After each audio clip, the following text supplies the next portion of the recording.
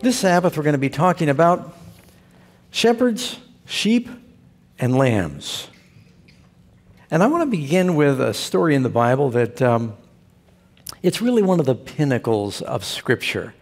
If you turn in your Bibles to Genesis 22, and I expect everybody here knows this, it's one of the most famous stories, not only among Christians and Jews, but even in, in uh, other faiths, about Abraham, who brought his son. God spoke to him, and early one morning, very clearly, the Lord said, Abraham, Abraham, take your son, your only son, who you love, and bring him to the mountains of Moriah and offer him there as a burnt offering unto me. Now, this is the son, of course, waited for all these years.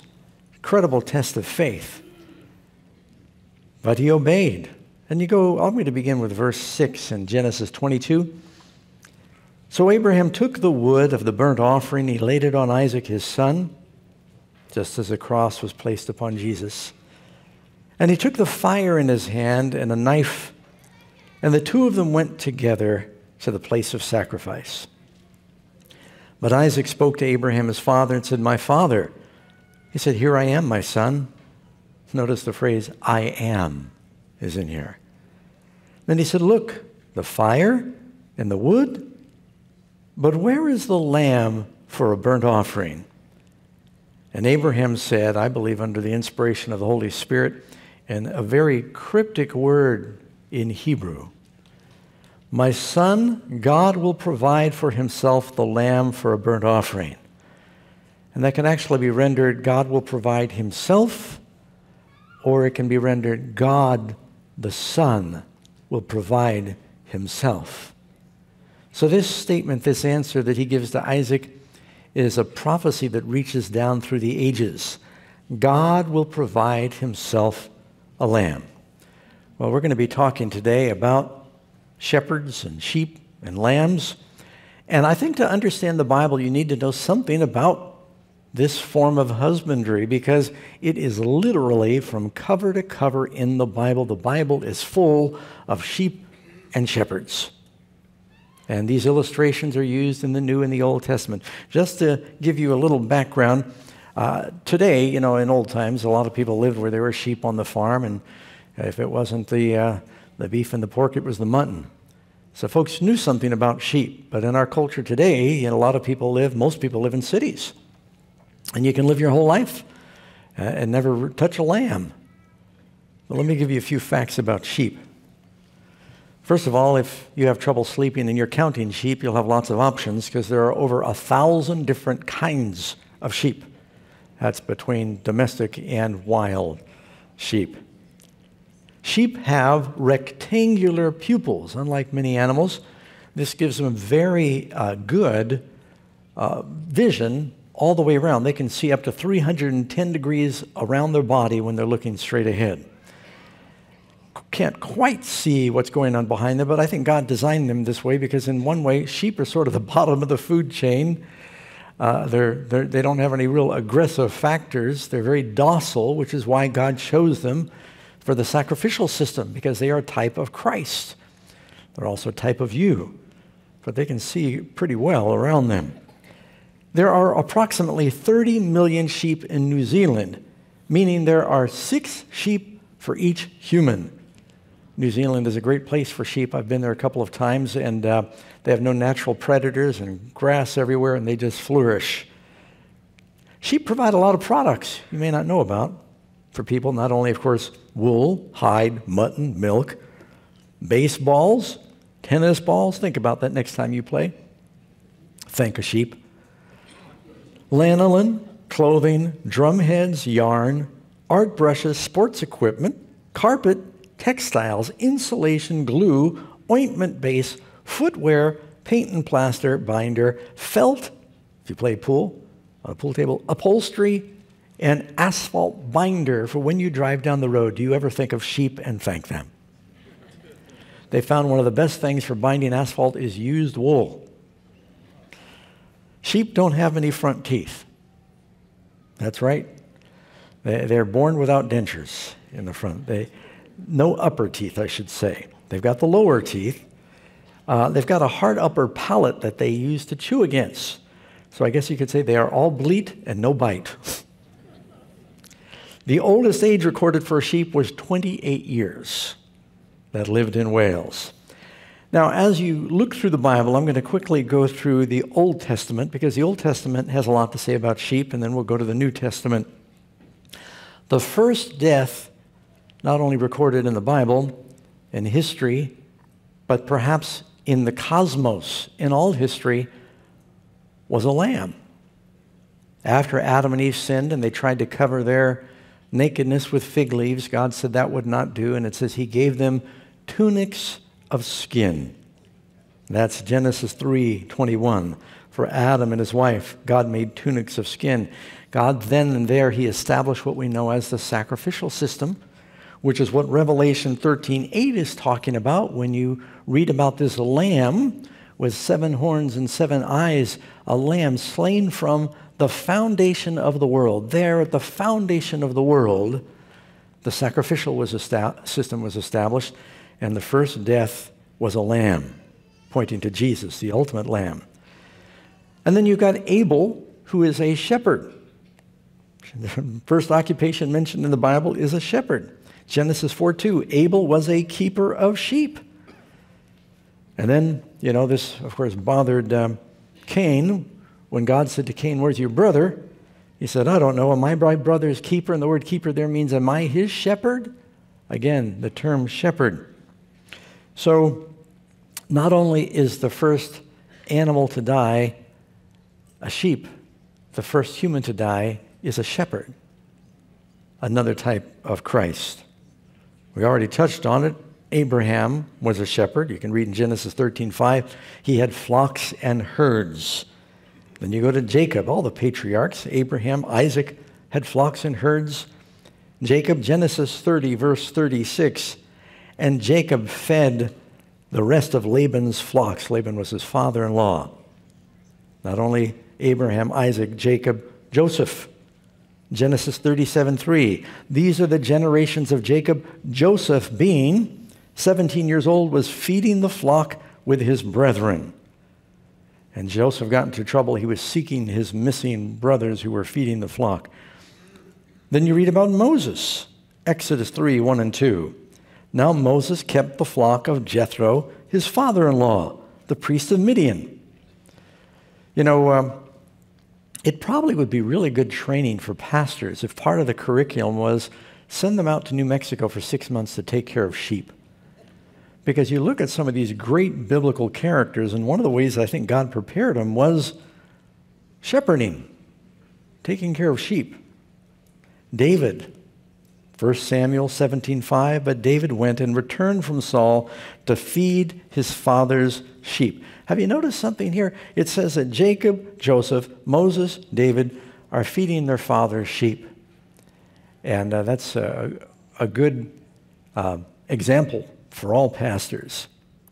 Now, with David in mind, before we rush past this, David is one of the great shepherds. You know, when Samuel comes to anoint the sons of Jesse, and Jesse's got seven of his sons there, and one is missing, um, he said, Oh, well, the youngest, he's with the flocks. And uh, David, wonderful voice, became a great musician, quite uh, a marksman with a sling. I think he learned a lot of those things out there in the field during the tedium of watching sheep eat grass. That can't be a lot more exciting than watching paint dry. But it does take a lot of responsibility. And he wrote one of the most beautiful pieces of literature that has ever been written. It's what we call Psalm 23. Now, it's unfortunate that when you mention Psalm 23, people automatically think about a funeral. And you've often probably been to funerals where people read it. I have. And that's because there's one phrase in there that says, Though I go through the valley of the shadow of death. But Psalm 23 is not for the dead. Psalm 23 is for the living. Turn in your Bibles, will you please? Turn to Psalm 23. I'm going to read it with you, and I'd like to ask you to read it out loud, and then we're going to go back through it quickly. Psalm 23, I'll give you a moment to find that. You might need to open the app on your phone or open the Word of God with verse 1 And I want you to say it out loud with me. Are you ready? And it'll be on the screen if you have nothing else. The Lord is my shepherd, I shall not want. He makes me to lie down in green pastures. He leads me beside the still waters. He restores my soul. He leads me in the paths of righteousness for his name's sake. Yea, though I walk through the valley of the shadow of death, I will fear no evil, for you are with me. Your rod and your staff, they comfort me. You prepare a table before me in the presence of mine enemies. You anoint my head with oil. My cup runs over. Surely, goodness and mercy shall follow me all the days of my life, and I will dwell in the house of the Lord forever. You know, as I was reading this and preparing for this message, I thought, that has got so much in it. I could do a 10 part series on just Psalm 23. I thought maybe I'll write a devotional for one month, going through the 23rd Psalm, six verses, one month, 30 days. There's just so much in there. But I don't have time for all of it because I've got more to the message than Psalm 23. But I want to back up a little bit and notice what it says The Lord is my shepherd. That describes relationship. Now, when you read Psalm 23, how many of you believe you can say, The Lord is your shepherd? Do you realize that in order for you to say, The Lord is your shepherd, you must say, I am a sheep? Would that be safe to say? Are you a sheep? You know, sheep are not the brightest creatures in the world. I was reading a news report in um, January 8, 2005, according to CBS News. They got a report from Turkey that 1,500 sheep jumped off a cliff 50 feet. 500 of them died. Evidently, while the shepherds were eating breakfast in the distance, figuring they were up on this mesa, rugged area in Turkey there, and, and um, one of the sheep, Edgar, I don't know if that was his name, he looked off this cliff and he saw some green grass down there, and it was very steep, but he thought, you know, I think I can do it. And over he went. And then Stanley saw what happened. He said, Look, Edgar's down there. He's got some grass. And he went over. And then Betty went. And if this is true, I don't know about their names, but it is true that they just followed each other off a cliff. How many of you, when you grew up, had your parents say, if your friend jumped off a bridge, would you do it? Any of your parents ever? Let me see your hands. Yeah. Well, it does happen. Sheep, like lemmings, will follow each other off a cliff. Now, fortunately, out of the 1,500, only about 450 died because there was such a big pile of dead sheep on the bottom. Sorry, I shouldn't laugh. that the other sheep going over were cushioned by the ones before them. It is a true story. The Lord is my shepherd. Are you a sheep? You know what the Bible says? All we like sheep have gone astray. Sheep. You know, when you say sheep, there are two kinds of sheep. I think that, you know, God took a very noble creature in the beginning. He established a sacrificial system, and a lamb had to die, or a couple, to cover them with skin. But since men were shepherding sheep through the ages, they have very carefully bred the sheep. And when they consider the best characteristics, when they match up the sheep and they breed them for the best consequences, they are thinking good wool, good mutton. They're never thinking intelligence.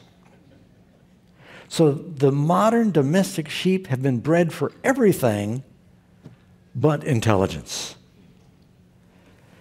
And as a result, they are very helpless creatures. Now, I lived, you've heard me say it nauseum, I lived up in the mountains, rugged mountains, and we had mountain sheep in Southern California, Mount San Jacinto. They have mountain sheep. They are tough.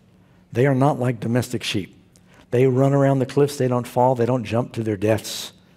Uh, they're almost impossible to catch. Somehow they survive the predators because They're kind of the way God, I think, first made them. But the domestic sheep, they get more diseases than any other creature. They get sick. They need the anointing. They need the help of the shepherd. Now, sheep aren't, I don't want to make it sound like they're completely stupid. In some ways, they're very intelligent. They memorize faces. Uh, you can change your clothes and they'll look at your face and they'll know you're not fooling them. They memorize voices. Not only can a ewe hear the voice of its particular lamb and vice versa, when there's a flock of hundreds of sheep, they can make out the voice of their parents. They can make out the voice of their shepherds. remember reading one story where all these shepherds gathered together to have lunch, and the, the sheep were all, all their different flocks came together to water at the same stream. And when they got done, all the shepherds walked away in different directions and they gave a specific call. And all those sheep that had all been mingled up, gossiping together, they took off and they knew which shepherd to follow. So they've got good recognition of voices. So they have some unique traits. They're social creatures. That's why if you're the Lord's shepherd, you shouldn't be all by yourself. You need to be with the flock. Matter of fact, when one sheep gets separated from the flock, you know the parable in Luke 15, the shepherd goes out to bring it back with the flock.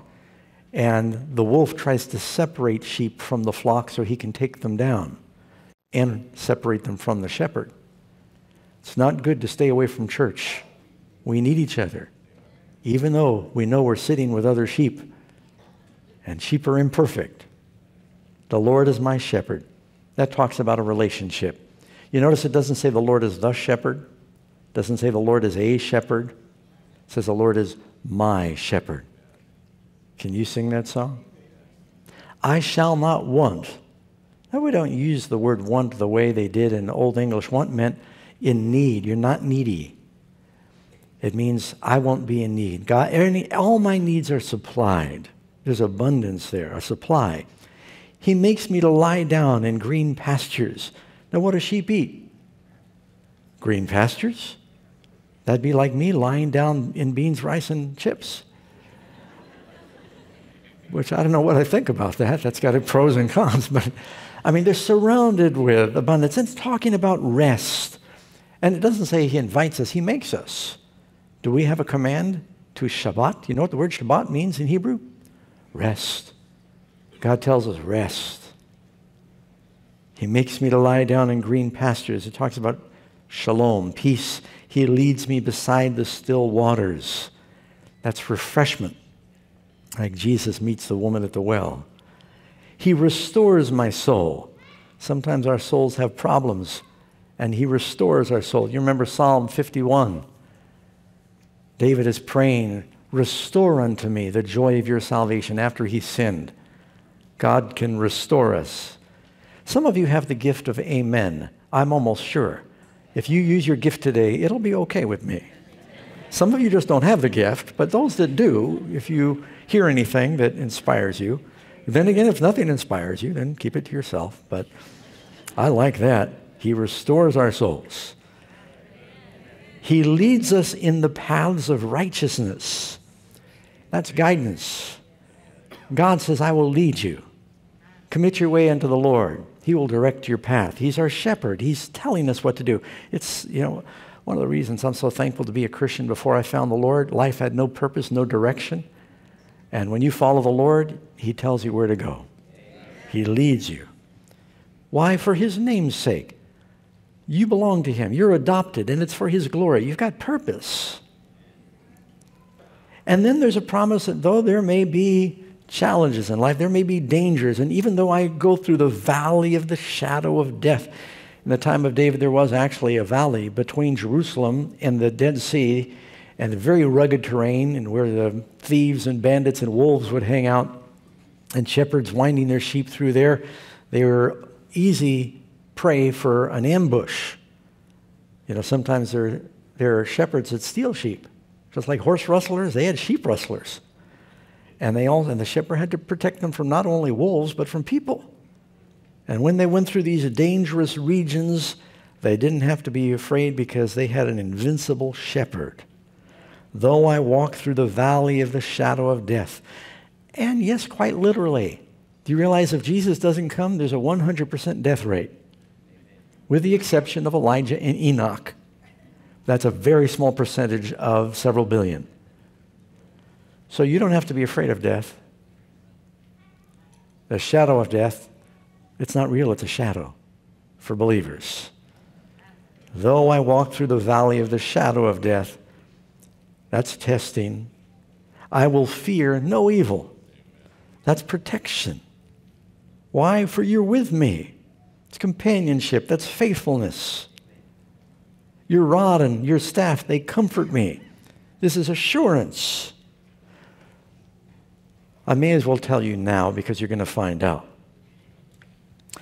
Got an email this week from our head deacon, New California law. And it says that if anybody on your premises is armed, even though they're trained and they've got a permit, that you must post it somewhere out front. And I told the deacon, praise God, post it. In case you didn't know, there are people that are trained on our premises. I hope it doesn't make you nervous. It's been that way from the beginning. So if you didn't know, just forget what I said. If it bothers you. But for some people, you know, it gives you a little security. Your shepherd's got a rod. No, I'm not. I'm, I, not me. I mean, I got a belt pack, and that's all I got. But uh, knowing that he's going to protect. Amen? How many of you are thankful for a strong military? That's right. It gives us freedom and protection. It says, Your staff and your rod, they comfort me. That's also for discipline. You prepare a table before me in the presence of mine enemies. That means when your enemies think that you're going to be cursed, God says, No, no, they're blessed. That's hope. You anoint my head with oil. You know, sometimes sheep may add bugs and the oil anointed would keep the insects away or if they were injured. But for you and me, the oil is what? The Holy Spirit. You give me your spirit, you anoint me. That's consecration. My cup runs over. It's not that you get enough, it's an abundance. Every time Jesus multiplied the bread, there was too much, there was leftovers. God offers us an abundance. And then there's the promise Surely goodness and mercy will follow me all the days of my life. That gives you confidence as you look at the future. That's blessing. And then the ultimate blessing, and I will dwell in the house of the Lord. That's heaven. That's family. How long? Forever. That's eternity. All in that psalm coming from a shepherd. Good for us to know something about sheep. Notice one more thing in Psalm 23, it says, With me, my shepherd, before me, a table, around me, my enemies, after me, goodness and mercy, beyond me, the house of the Lord. It's like a GPS, it gives you the location and purpose of where you are. So we're jumping to the New Testament, which is very relevant for our season now. Go to the book of Luke, chapter 2, verse 8. This is the Gospel of Luke, where, of course, those angels made that amazing announcement. Now there were in that same country shepherds living out in the fields, keeping watch over their flock by night. They're out there with their sheep not only in the day, they're with them in the night. And behold, the angel of the Lord stood before them, and the glory of the Lord shone round about them and they were greatly afraid. Then these angels said to them, Do not be afraid, for behold, I bring you good tidings of great joy, which will be for all people. For there is born to you this day in the city of David a shepherd, a Savior, who is the Lamb, who is Christ the Lord. And this will be a sign to you. You will find the babe wrapped in swaddling clothes that's not a sign. That's what they do with all newborn babies. They wrap them up. Here's the sign laying in a food trough for cattle. So here you've got shepherds giving the news about the bread of life and the Lamb of God that's in a shepherd trough for for feeding cattle, born in a town called the House of Bread, Bethlehem. Full of significance. And suddenly, when this angel gets done with his message, a multitude of the heavenly hosts, they could not keep back the good news. They pulled back the veil, they revealed themselves, and the heavens is lit up, and the fields lit up, and they began to sing, Glory to God in the highest, and on earth peace and goodwill towards men. Jesus coming is good news, friends. Amen? So when the angels had gone away from them into heaven, the shepherds said to one another, Let us go. Shepherds should be telling the good news. Amen? They said, Let us go to Bethlehem and see the thing that has come to pass. They're in the fields outside of Bethlehem that the Lord has shown to us. Now, how do you think those shepherds felt that night? What do you think they were talking about? I think they were out there thinking, you know, I wonder how long the Romans are going to occupy us. When will the Messiah come? Shouldn't it be about time? And uh, wasn't it wasn't it interesting? We heard this story about Elizabeth, and that the, the angel said God's going to give them a baby, and, and uh, that baby's going to make the way of the Lord. And, and there was all these signs and things that were happening. They were thinking about this. It's interesting that he was revealed, the coming of the Lord was revealed not to the priests, but to the shepherds. God uses humble instruments. Let's go find out. And they came in haste and didn't take long. Bethlehem wasn't that big. And they found whether it was a, barn or a cave. We don't know. It doesn't say. But they found a place where here's his mother. She's got a little baby in the trough. They knew right away what it was. When they'd seen him, they made widely known the saying. And when we see Jesus, we need to make widely known the saying concerning the child. Now, not only were the shepherds witnesses, who else were witnesses? The sheep. says they were with their flocks. You wonder what the sheep thought when they saw and heard the angels. Amen? And the shepherds returned, glorifying God. Three times this is the shepherds, the shepherds, the shepherds, when Jesus came into our world there.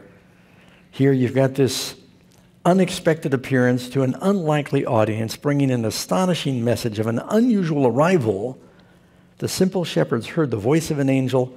They found their lamb. If, like those shepherds you have heard and seen, like the shepherds, go and tell.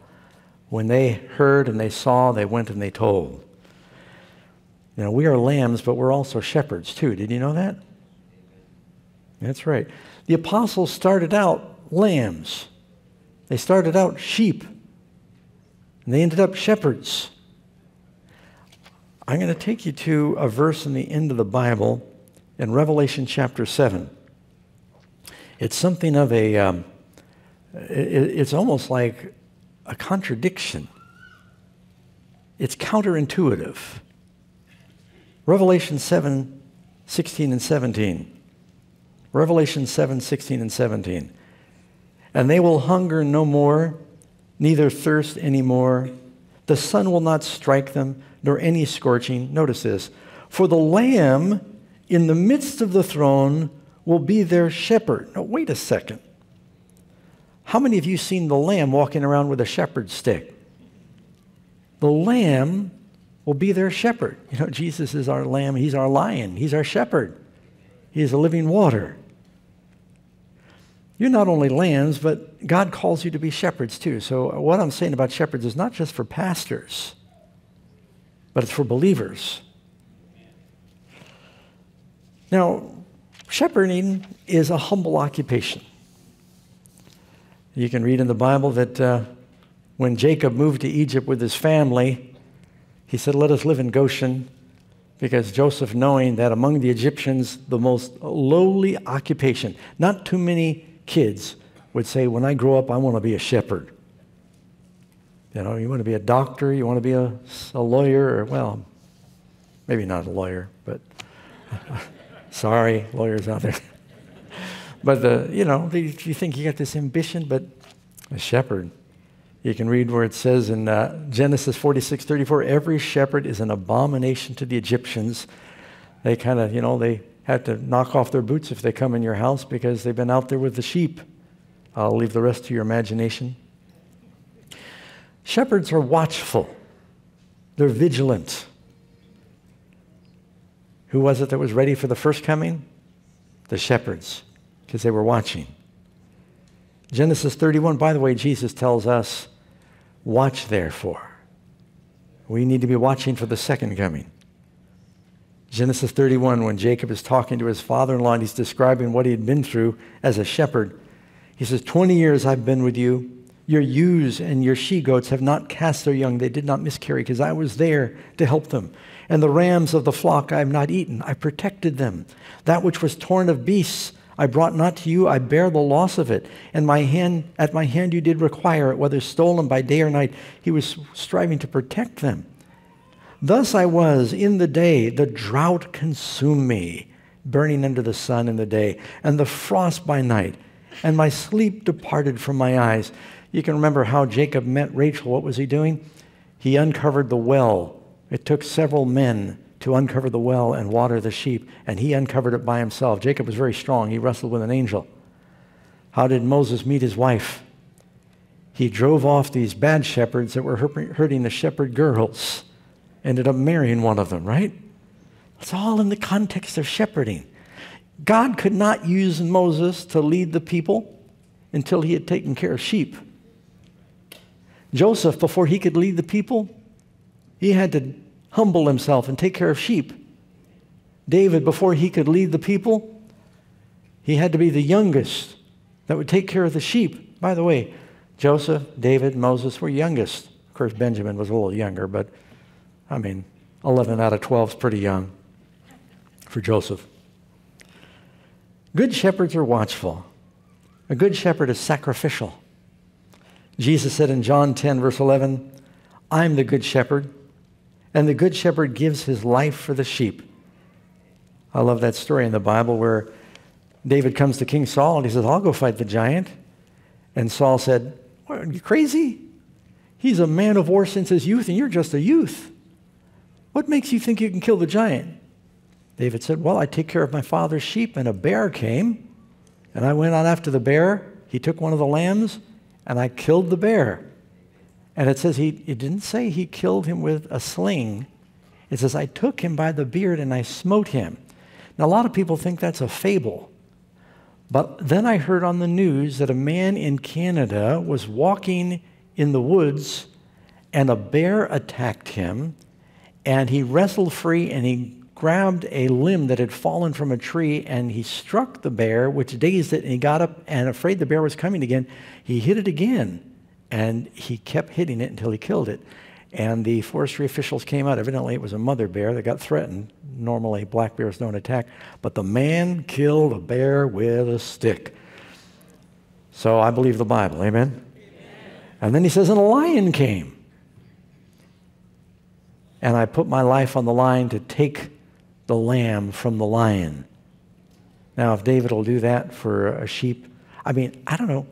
Whenever I hear this story, I've got to make a confession. I never had sheep, but I had goats. And a bear came once and got one of our goats. I actually got two of our goats, but I didn't hear it when the first one was taken. And uh, our gun was out in the pickup truck, and all I had was a 22. And the goat's name was Libby. And we heard bang in the house. The whole house shook because Libby slept under the house. And this is up in the hills. And um, then we heard her screaming, and we knew a bear had gotten her, and we heard her crying as the bear is carrying her up the hill in the dark. And I thought, do I go out to my truck to get the 22 and chase the bear in the dark with a 22? Do you realize if you shoot a bear with a 22, they just get angry? If they feel like a bees stinging them. And I felt like I'm just not a very good shepherd. But I felt much better when I remember little Libby was a goat, and you know, goats, they're not going to make it anyway. So, but I had to ask myself I mean, why do shepherds raise sheep? Don't they eventually butcher them to get the wool? And David was willing to die for a sheep. Shepherds are sacrificial. The way they suffer to take care of these sheep, Jesus said the good shepherd lays down his life to protect the sheep. A good shepherd leads the sheep, and the sheep follow. Genesis 33. And he said unto him, and this is when uh, Jacob is reunited with Esau, and Esau says, Here, join me. And he said, Look, you got your soldiers, and I got my sheep. He says, I can't keep up with the soldiers. We got to be tender. I'm going to lead the sheep. It says in Genesis 33 13, he said to him, My Lord knows that the children are tender, and the flocks and the herds that are with me are young. And if the men should overdrive them one day, the flock will die. I heard about a tourist that was in Israel and he saw the traffic stopped and all these sheep were crossing the road and there was a man behind them that was kind of cracking a whip and snapping a stick and driving the sheep. And uh, he couldn't resist. He got out of his car because he had to stop anyway. He walked over to the shepherd as he was crossing and he said to him he said can i ask you a quick question? He said yeah. I said i've just always read and heard in the bible that in the middle east that the shepherds lead their sheep and you're driving them. And the man said with his you know Israeli accent. He says, No, this is true. This is true. The shepherd leads the sheep. He says, But I'm not a shepherd. He says, I'm a butcher. he says, I'm taking them to slaughter. You get some pastors lead their sheep, and some drive their sheep. The devil, he drives his sheep. He's a butcher. So the shepherd leads them. A good shepherd feeds his sheep and he feeds them good food. You know, sometimes sheep don't know what to eat. They'll eat whatever's around them, and the shepherd needs to lead them to where the green pasture is. Some weeds and things a sheep might eat uh, could do them in, and so they have to be sensitive to that. We need to feed them the good food. Jeremiah 23 1. I will set up shepherds over them who will feed them. Acts 20, verse 28. Take heed, therefore, Paul is speaking, to yourself and all the flock over which the Holy Ghost has made you overseers. God wants us to take heed to feed the flock. John 21 15. You know, when uh, Jesus rose from the dead, Peter had denied Christ three times. And, and uh, Jesus said, Peter, do you love me more than these? And Peter said, Lord, you know that I love you. He wouldn't compare himself to his friends anymore. At one time, he had said, Though all these forsake you, I won't forsake you. He doesn't include his friends anymore. And he just says, Lord, you know that I love you. And Jesus said, Feed my sheep. A little while later, Jesus said, Peter, do you love me? He said, Lord, you know I love you. He said, Feed my lambs. So Jesus distinctly said, Feed my lambs, feed my sheep. Then he asks him a third time, Peter, do you love me? And he said, Feed my sheep. Three times. Feed the sheep, feed the sheep, feed the sheep. You know, I'm convinced that it's not that hard to grow a church if you feed them the bread of life. And we've had pastors that have been upset with us because they felt we were stealing their sheep. And we say, well, the sheep go where the grass is. So if you just feed people the word, they're hungering and thirsting for the truth. 1 Peter 2, verse 5 Feed the flock of God that is among you, being examples to the flock, and the chief shepherd shall appear, and you'll receive a crown of glory. Friends, is it my imagination? Are you finding sheep and shepherds all through the Bible? It's everywhere. Sheep will follow the shepherd's voice. I touched on that briefly. Jesus said, John 27, My sheep hear my voice, and I know them, and they follow me. Heard another story that. Uh, a tourist heard this was true that the sheep will only follow the shepherd's voice. And the tourist said, No, they see your clothes. They don't recognize your voice. The shepherd said, Try it. He put on his clothes and he walked off in the distance. And the tourist, he called the sheep and he said, Tell me what their names are. He called them by name. They didn't budge. And the shepherd, now who's not wearing his outside outfit, he called them. They came right away. They knew the sound of his voice. Now, the sheep need to be careful now. Because have you heard about AI? Did any of you see? I put out a video on my Facebook page. We're running a test.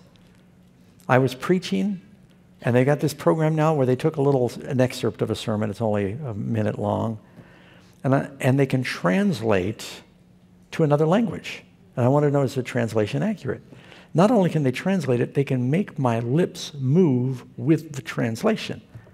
If you want to see that, go to my Facebook page. I'm speaking Tagalog with Pastor Ross, who's speaking Hindi. No, but you, you, you can do that. You can make, and the thing is, they take a sample of my voice and then it sounds like me, which is fascinating and frightening. Yeah, you think about the ways the gospel can use that. We're talking about doing real life translation when we go to New York City next fall in all these languages. Wouldn't that be wonderful? We used to have to have rooms full of translators. We flew in and fed from around the country. How much cheaper to just be able to real time convert it? But the devil can use it too. He's going to be having overwhelming deceptions in the last days. The good shepherd will discipline his sheep. All we like sheep have gone astray. And the Bible says in Hebrews 2:16, "For the Lord disciplines him who he loves and chastens every son who he receives." Someone saw a man with his flock in some eastern country, and one of the sheep had a splint on. He said, "How did how did the lamb break his leg?" Shepherd said, "Oh, I broke it." You broke it? He said, "Yeah." Says that sheep, he kept going off, wouldn't listen to me, kept getting into dangerous situations. And so I struck his leg, just it's a hairline fracture, and then I bind it up, and he then stays close to me, kind of hobbles him until it heals up and he learns to stick with me. Sometimes God has had to hobble us to get us to turn to him. That's the loving discipline of our Lord. Affliction is God's dog that drives the sheep back to the shepherd. And a good shepherd will seek the lost sheep. Jesus said, What do you think? A man has a hundred sheep, and one of them goes astray, and it's dark and it's stormy. Some of us might say, Well, dumb sheep, what do you expect? But no, that shepherd leaves the 99 safe in the fold and he goes looking for that lost sheep. What did Jesus say when he found Zacchaeus? He says, The Son of Man has come to seek and save that which is lost. And at the peril of his life, he goes looking for the lost sheep. God wants to look for you. If you've got a parent, you've got 10 children, and one of them wanders from the faith at Thanksgiving, you've got an empty chair. Do you say, oh, well, 90% is good? Or is that parent's heart going out after that one empty chair? The Lord doesn't want you to be missing from his table, friends. He wants his children, his lambs, there. You know, you've probably heard that song, beautiful song called The 90 and Nine. I think it was sung by Ira Sankey and, and Dwight Moody's campaigns. A beautiful story about how the shepherd goes out looking for that lost sheep. Now, we're going to be singing a closing hymn. We're not going to be singing that one, but I, have got a final illustration. I'm going to invite our, um, our choir and orchestra to come up. It's going to take them a moment to do that. And I'm going to tell you about uh, an interesting story. I don't know if you read it a few years ago about a lamb called Shrek. I didn't name him. That's a picture of him up on the screen. Shrek was sort of an independent sheep in New Zealand. And when it came time for shearing, they shear them every year. You know, in the springtime when it's warm, they go through shearing. They get all the winter wool off so they don't get too hot in the summer. Shrek did not like the idea of being sheared. For whatever reason, when it was shearing time, he knew and he would run off and hid in a cave. And you might think, well, how come the shepherd didn't know? Well, this is a farm in New Zealand with 17,000 sheep. Shrek was rather independent. And not only did he miss his shearing one year or two years, but for six years he avoided being sheared until he got where he couldn't even see because the wool was blocking his eyes. He used to have to shake his head around to try and make it from step to step. And when he'd fall down, he could scarcely get up. And he was covered with dirty, stinking fur. And eventually, someone had heard word about this, this great big sheep that had somehow avoided shearing. And they told the shepherd, and he found him, and he looked like the giant end of a dirty Q tip. Shrek was finally captured for his own good. He, he couldn't run anymore. And when everybody saw him, they put out pictures. They said, We're going to publicly shear him. And the shepherd got together with a crowd, 300 people gathered, and uh, with expert finesse. If you've ever seen how these Australian shepherds shear their sheep, and they got, they got this, these shears that are really fast, and not like the old ones that were big old primitive scissors that would often nip and cut. And they just go, yee, yee, and that, that fur goes flying off. They got 60 pounds of fur from Shrek. And I think there's a picture of how much better Shrek is doing. Did you put that one up on the screen? Yeah. Now, this is a few years ago, and I think that Shrek, Shrek has gone to that great big pasture in the sky at this point. But just think about that running from the shepherd, thinking he had something to hurt him, but it was a burden. Have you been burdened, friends? The shearing was not because the shepherd wanted to hurt him, the shepherd wanted to save him. And sometimes we go astray and it ends up dragging us down. We're looking for freedom from the shepherd. Instead, we be, we're carrying around a burden of sin. And Jesus wants to remove that burden, friends. Amen? That's the good news that the angels sang about. That Jesus came to save us from our sins so we can be in the house of the Lord forever. How many of you want to uh, be in that place?